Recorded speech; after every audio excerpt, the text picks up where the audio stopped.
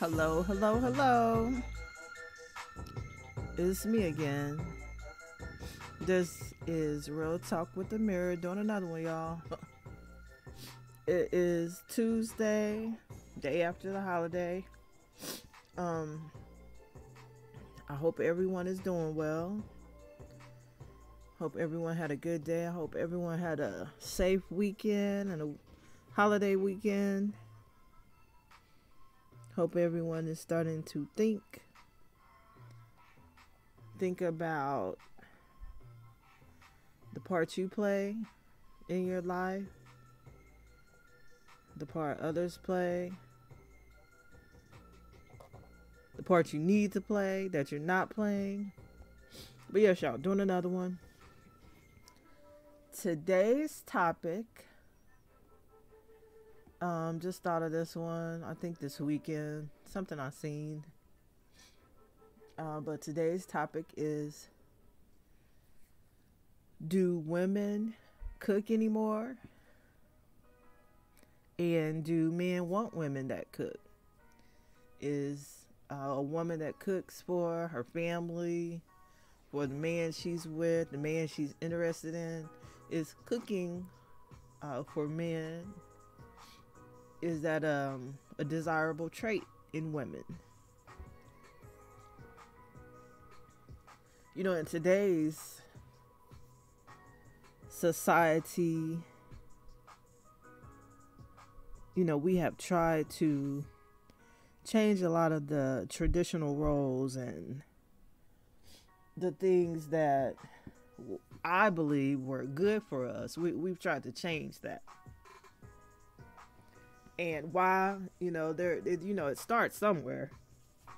You'll have to excuse me i still have a little bit of a cold but in, in changing some of the traditional roles and some of the traditional things that we do is that helping us or is it a detriment to us and our society?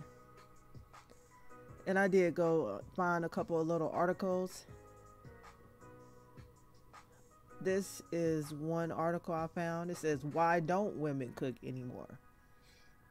by Armando Peterson. My mother's teaching. Let's see. My mother's teaching is the basis for this question, as well as the seemingly common practice that women don't cook anymore. So, why don't women cook anymore? The focus isn't on women alone, why do men accept wives who can't cook? Or for that matter, why aren't mothers teaching their daughters to cook? If you feel that the slant of the question seems to thrust the brunt of the cooking duties onto the female, that is the intent. Because the woman sets the tone for the atmosphere in the home stands to reason that women do the cooking.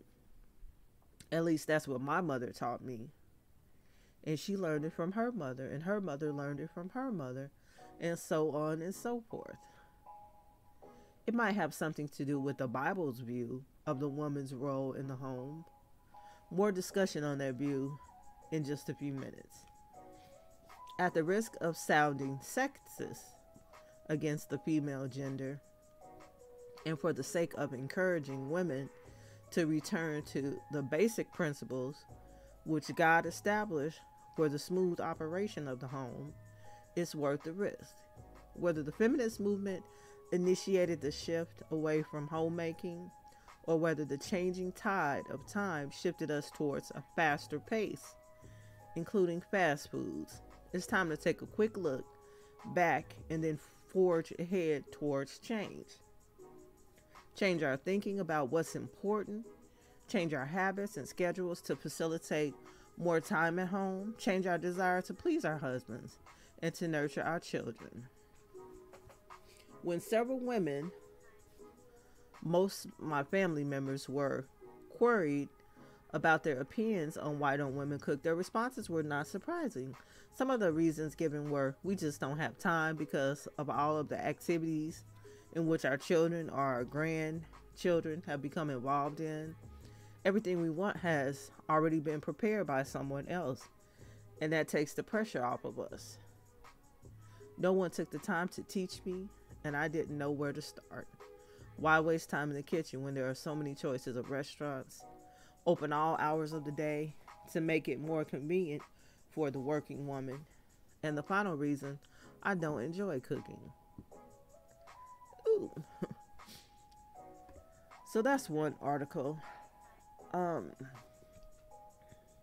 I definitely like I said there's been a shift in the way women operate or women should be operating in the family structure. I I myself I like to cook. I've always liked to cook. Um, and not always. Um, there there's a time when I was learning to cook. So, but once you learn something, then you kind of start enjoying it. You enjoy doing it, but you have to start somewhere. You know, we live in the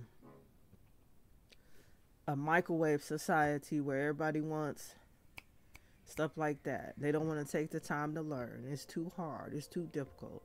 I don't want to do that. I don't want to take time out to uh, learn how to cook a, a good meal for my husband. I'd rather just what? What are some of the things that people say?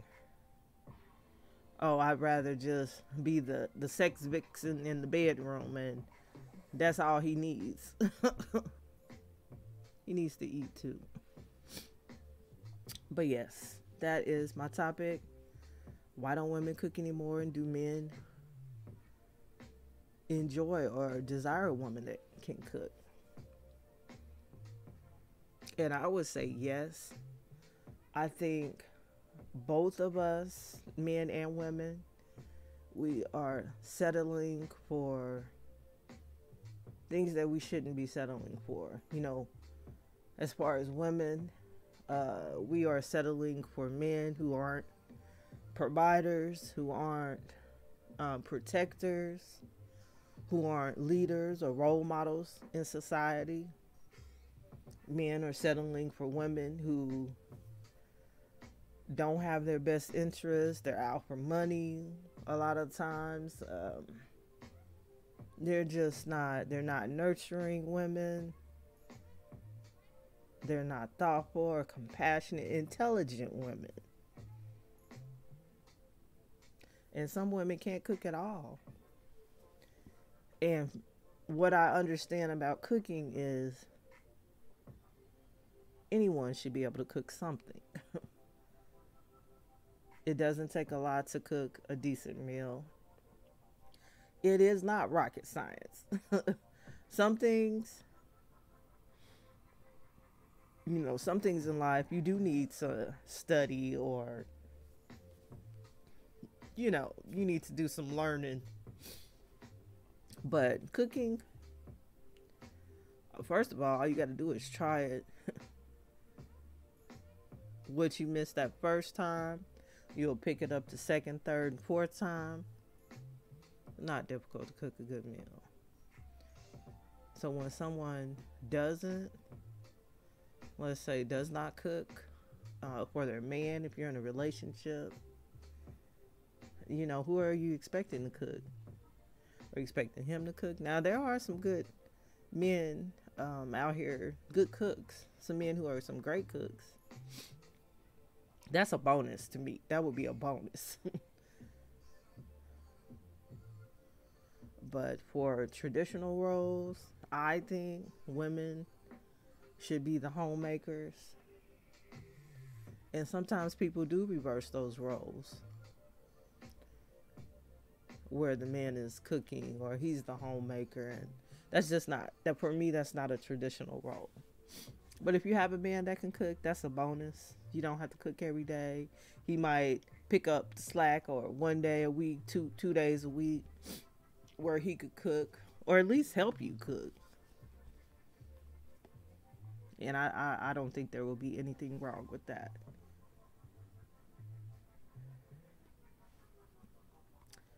Um, here is another article um, Epicurious.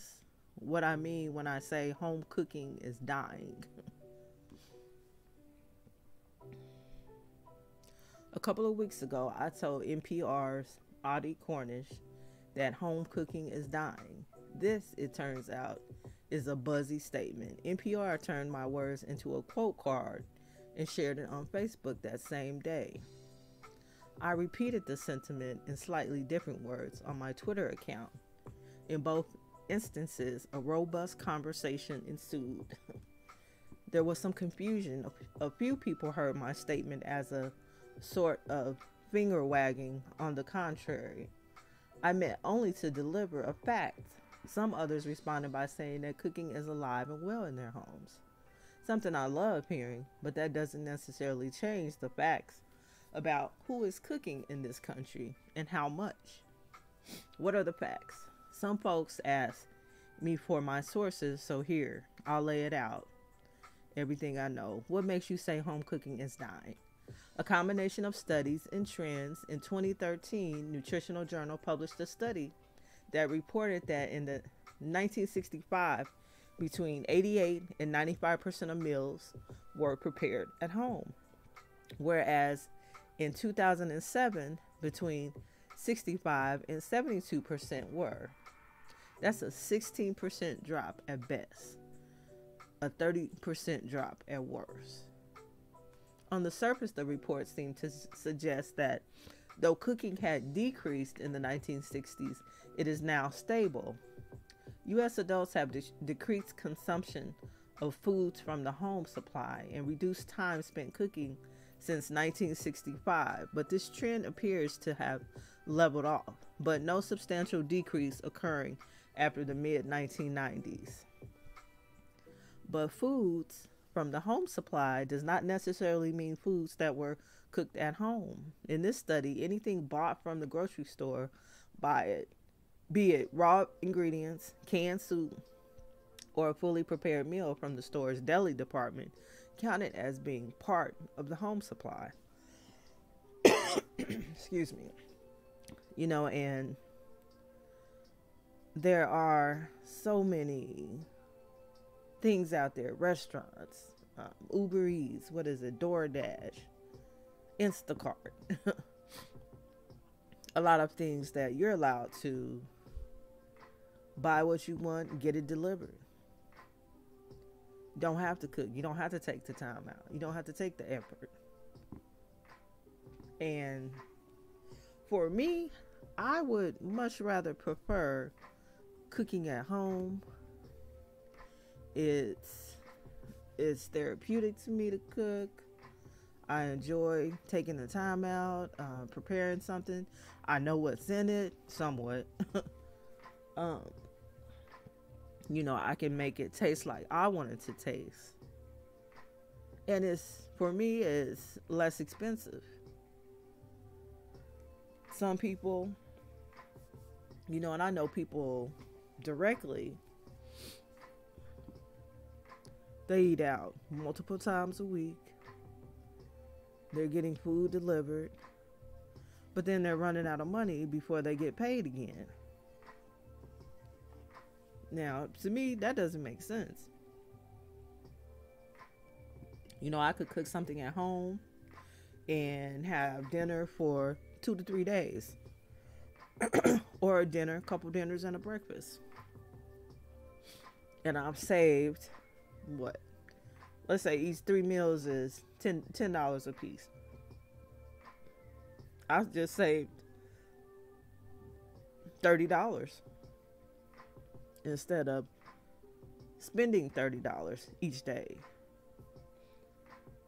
Some people, let's say people where I work, some people eat breakfast in the cafeteria every morning. 10 bucks easy. And they eat lunch every day in the cafeteria, at least $10. So I don't know, we can add so if I spend $20 a day, five days a week, that's $100 a week times four. That's $400 a month. At least. That's just for breakfast and lunch. And you know, this also comes back around to uh, financial.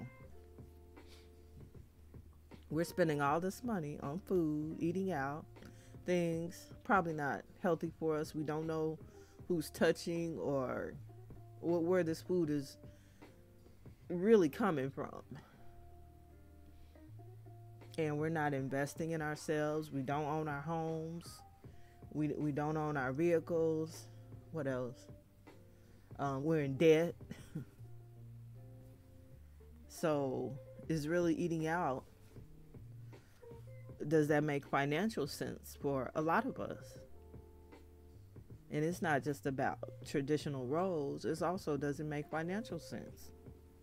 I would say no.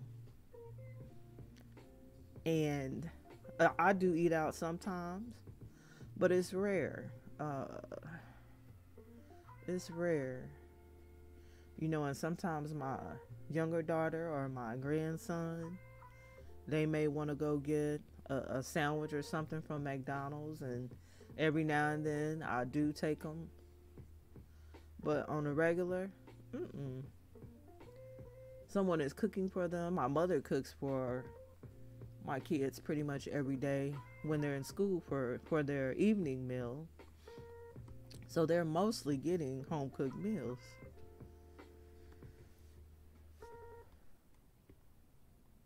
But that's also another perspective of does it make financial sense for us to eat out every day? Is it cheaper to make your own meals? Especially if you're a one income, if you don't even have a man and you're a one income family, does it make sense for me to eat out every day? And it doesn't to me. it doesn't. This is also another article I found the, the Harvard Gazette. Does food have a gender? A culinary historian and a chef explore the social and cultural connections. You know, and in different societies and different areas, people do have different roles of what um, the genders do female gender, the male gender it does depend on where you're at or where you're from, but women are the traditional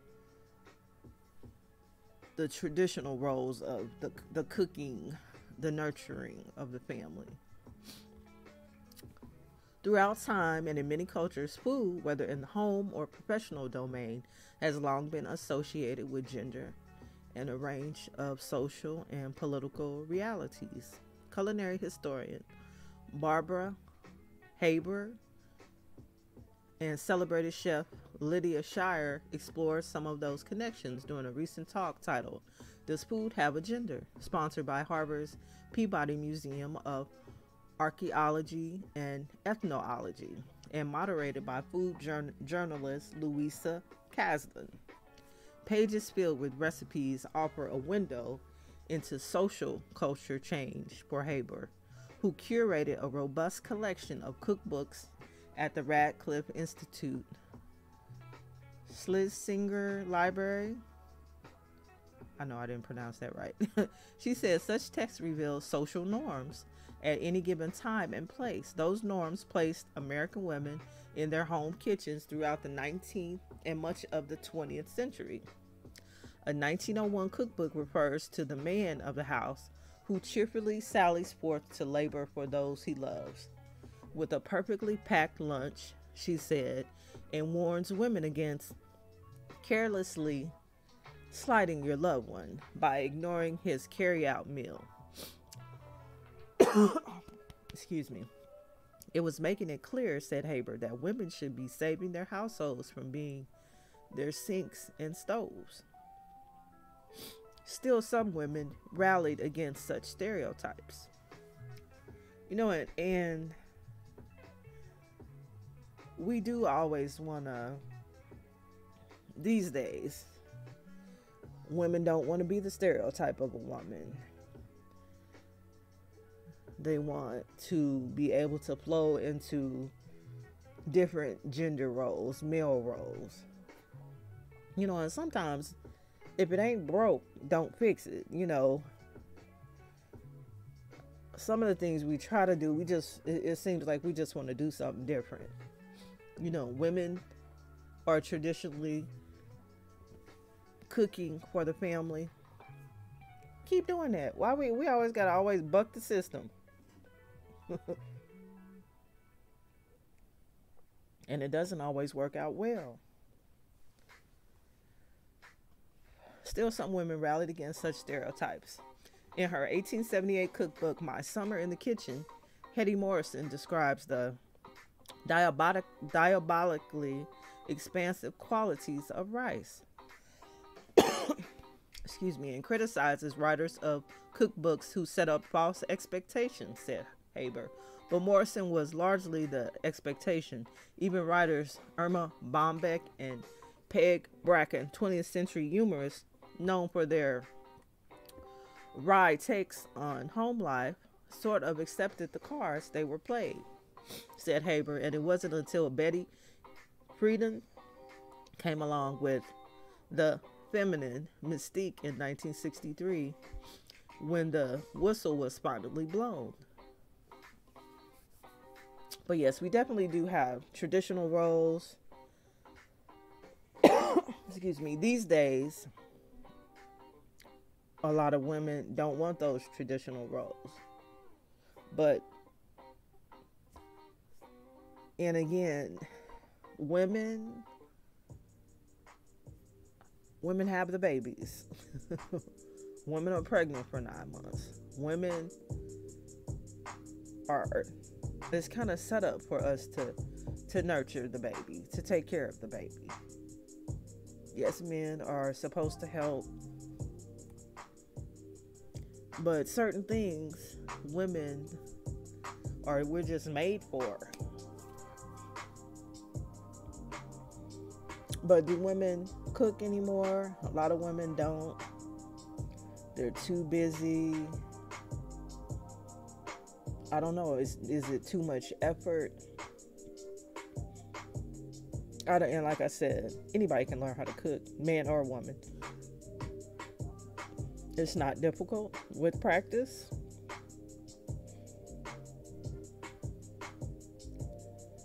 And is it you know, I think it's kind of a cop out. Excuse me, especially if you have children. It's not good to eat out all the time. It's not good on your wallet, and it's not good for your health.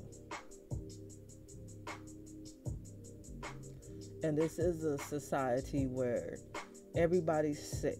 Everybody has some type of illness, some type of allergy, some type of this, some type of that. And we have access to we have access these days to so much food. And, and in some places they don't, but you can still cook. you can definitely cook. And if you weren't taught to cook, you can learn to cook it's really no excuse with with Google or YouTube that you don't know how.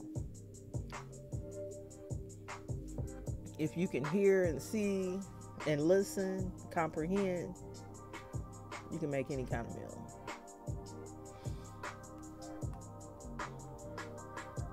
And do men want women that can cook? Like I said, I think our expectations are going down the drain as far as men and women. If I was a man, I would want a woman that can cook. It, it's it's a part of life, eating every day. and who would want to eat out every day? I wouldn't.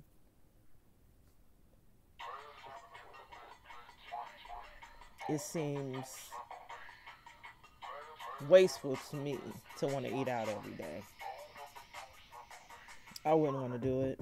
I wouldn't support it. I wouldn't. Can we up? No, we, we can cook something. And of course, if you're a child, kids would might want to eat out every day, but we're we're not children. We're adults.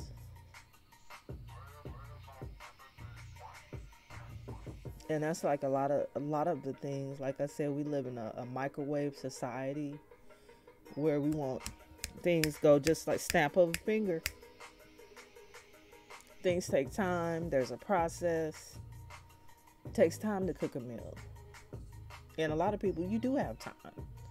If you got time to be on Facebook or Twitter on the internet, you got time to be watching uh, TV shows and watching movies all evening. You got time. That's an excuse. That's a lie. You do have time. And for those that don't work or don't have jobs and you are at home, you have no excuse than to cook a good meal. You got all day. You know, if I had all day to prep and well, I don't want to do it. Okay, well, what what's your other options? It's an expense. You're buying out every day. That's an expense again. What's important? Nutrition, health, finances, eh, we got to start adding up stuff. Does this really make sense on paper to me? Like I said, some people, twenty dollars a day, easy, easy. Some people, thirty. Thirty dollars a day. Breakfast, lunch, dinner, or a latte in the evening. All that stuff adds up. And again, you're in debt. You don't own your home. You don't own your car you own some food though. You don't you don't even have any stock in the companies you buying food at every day. Let's make stuff start to make sense. But yes, I do believe men want women that can cook. This makes sense to me. And we're they they may settle for a woman that can't cook and can you imagine being with a woman or being married to someone for 20 years, 30 years, and they don't know how to cook? They never learn how to cook. There is no desire for them to want to cook. So that means that job or that responsibility, even that time at home and cooking in your home, that shows care and consideration for your family. So I, I, I think men do want women that can cook. It's a bonus if he can cook too.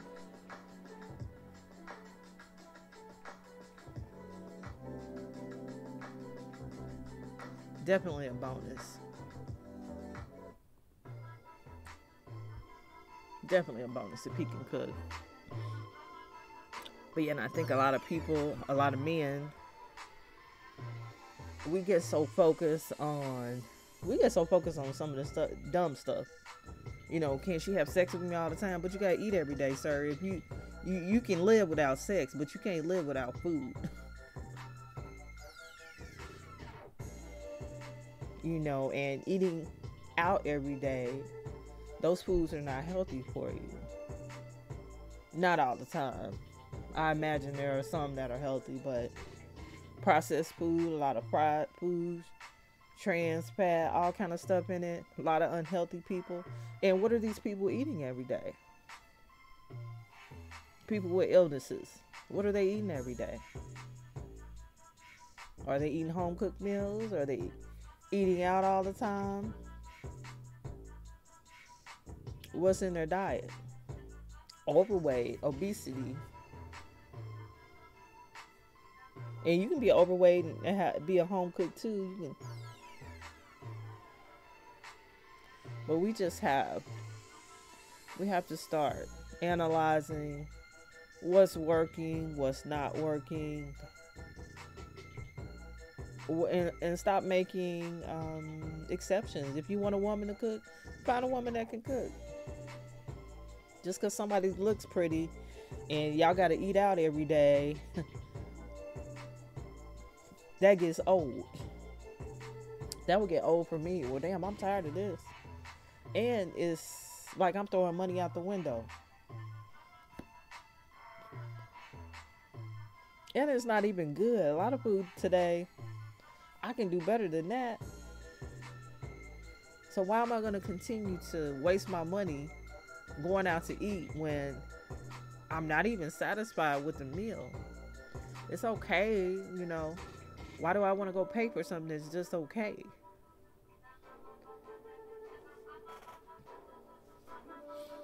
And it's a treat every now and then, but I'd much rather cook something. I know how it's going to taste.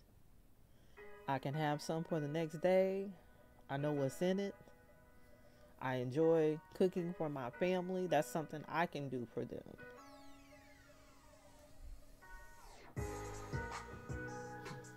And if I was in a relationship, that's something I can do for my husband, fiance, future husband. But yes, you guys, that was my topic for today. Do women still cook? A lot of women don't. And if they do, is is maybe something simple. I was listening to one man. He said all his wife cooks is taco salad, and it was something else really simple. But is that really cooking? what type of effort is she putting into it and he was just complaining about that that she doesn't cook anymore and she was complaining that he criticized her cooking. But again and I, I, don't mind someone criticizing my cooking because i'm gonna try to improve it for the next time. And then you can't criticize something that's good. That would be my thought, but everybody's not the same. Some people don't like criticism, are more offended by criticism. but if it's constructive criticism, I can take it. I'm good. Well, what did you not like about it? Oh, you added too much. Okay, let me take that back. Um, take a little bit less out uh, or more out. Sometimes I might even say, "Well, you cook it. Let me watch you cook it, so I can learn how to cook it from you." Then what's what? What could you complain about then? Nothing.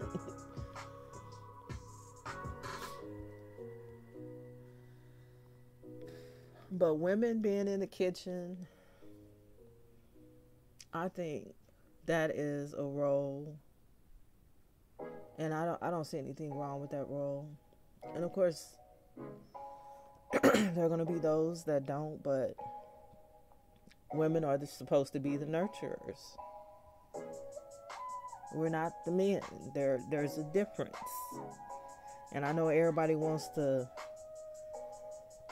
have everything these days fluid, and I can be a man one day, I can be a woman the next. No, I don't believe in that.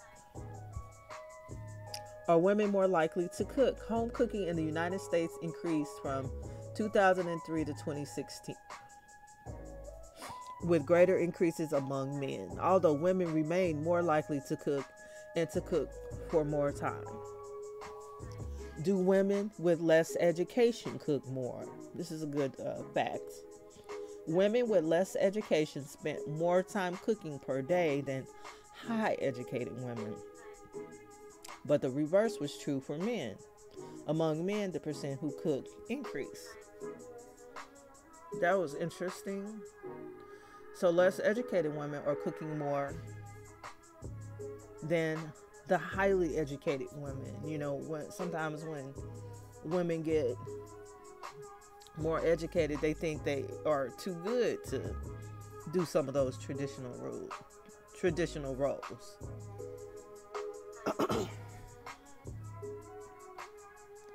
But yes, y'all, this was just a quick one. I think I went over my 30 minutes. but I do think it's important that we start cooking for our families, for our homes. You know, I, I don't think it's anything better than a home cooked meal. You know, that my mom cooked for me, even my dad when I was growing up. It, a home cooked meal is something that's important, is valuable.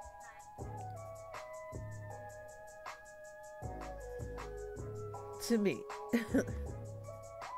you know, you're taking time out, you're preparing the food, prepping the food, putting it on a plate, presenting it to your family. What could be better than that? Another article Modern Women Who Can Cook, a Minority. They say the way to a man's heart is through his stomach. But when it comes to modern women in aprons, a rare sight, it seems they aren't exactly satiating a bloke's hunger pangs or setting his heart on fire with their lamb roast and chocolate truffles. These days, according to the complaints from single blokes, I hope I'm saying that right, my newly engaged mate Tom and a very fiery Gordon Ramsay, too many women nowadays are living in a haze caused by the sex and the city hangover, where ovens are used to store clothing. Okay, maybe not that far, but you get my drift. And women prefer to do other things yoga, shopping, working, drinking mojitos, than spending the evening organic grocery shopping and whipping up a hearty meal for two or for your family for four, five, six. The Good Food Channel in Britain backed up this hypothesis with a study of 2,000 men and women, finding that one in six women simply can't cook. And again, like I said before, it's not that they can't cook, they don't try to cook. Anybody can cook. So, is the ancient art of winning a man's heart that was once passed down from generation to generation dying with the advent of the modern independent woman? Do women nowadays believe that feminism gave them the right to put down their spatula and leave the oven to the blokes? Has the climb up the corporate ladder meant that women have stepped on their domestic their domestic duties in favor of well not bothering at all? And what else are you doing with that time? That, that again, we spend hours on the internet, hours watching TV. Oh, I gotta watch my show tonight. I gotta do that. It does not take long to cook a decent meal for your family or yourself, or definitely for your husband or your boyfriend. But yeah, y'all. That, uh, let me stop before I keep going. This was um, just a quick topic. Do women cook anymore? And I do see some a, a lot of good cooks out there, but do they do it more often than not? Or is it like a special occasion? And do men want women that can cook for them, that do cook for them? And just because you can do something, if you're not doing it, then, you know, it's basically a waste. It's a wash. but again, you guys, I hope everyone had a great weekend. Hope everyone is doing well, thinking about their lives, the parts you play in your life, the parts you play in your relationship. Is cooking important to him and you don't even know it or he's not even saying it? A lot of times we're not even communicating what we want from our relationships. But yes, y'all, this has been another Real Talk with Amiri podcast. Everyone have a great rest of the week. Peace.